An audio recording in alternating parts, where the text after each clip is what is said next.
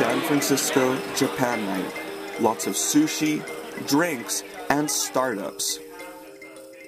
The concept of this event is to bring the top six startups from Japan.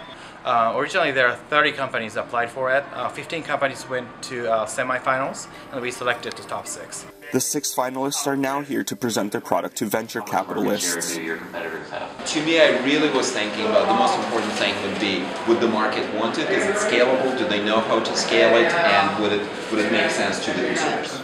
This is a win-win for everyone, as Japan has been experiencing a weakening economy.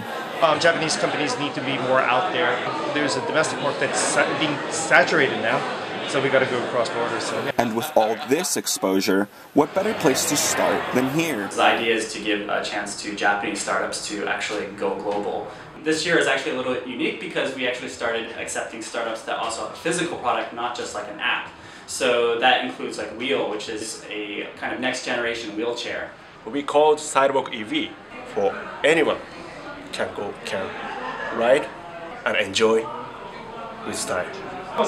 There were also blogging applications, a platform for designers, and ShareWis, which offers a new way of learning. Lectures are connected with each other, so you can go to the next lecture like clearing a level in a video game.